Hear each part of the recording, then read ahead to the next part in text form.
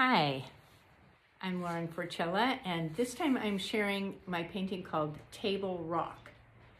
And this scene is from Oregon, which is the state just north of California. And this is a vast tableland. And um, I used to be a geologist in my first career, and these, this tableland is formed from layer after layer of very runny lava called basalt that Oregon is covered with basalt. And so in this case, it flowed out flat as a pancake, layer after layer.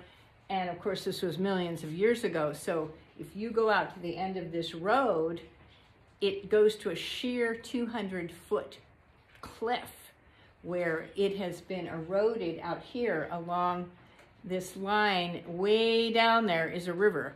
And um, so that's how this formed. And it's just this completely treeless, featureless rock tableland just covered with grasses.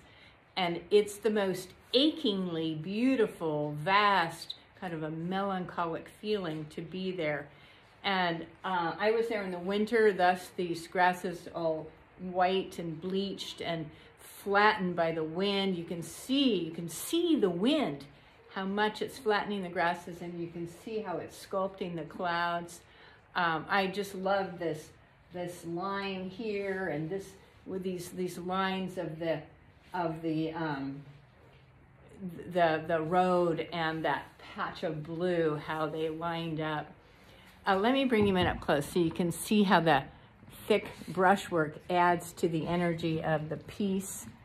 Um, and course, this is in my contemporary impressionistic style. And it, it, the paint is laid down very, very thick and deliberately. Let me see, let, let me see, let me keep you down in the grasslands for now. Because this is, you think something's featureless until you really, really dig in and start looking at it. And uh, not only has it have a million features, but it has so many different colors.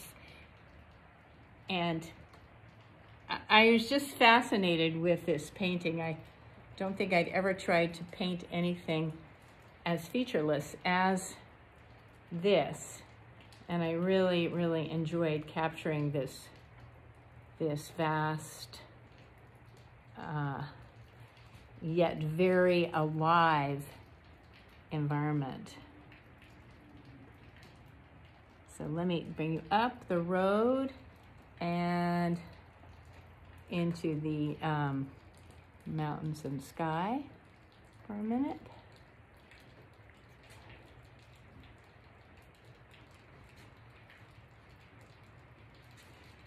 There you go. So that is Table Rock in Oregon. And I so appreciate you hearing the story. Thank you.